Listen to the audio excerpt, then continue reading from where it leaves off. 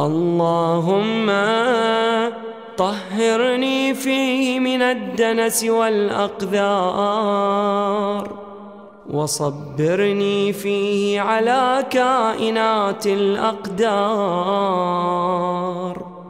ووفقني فيه للتقى وصحبة الأبرار.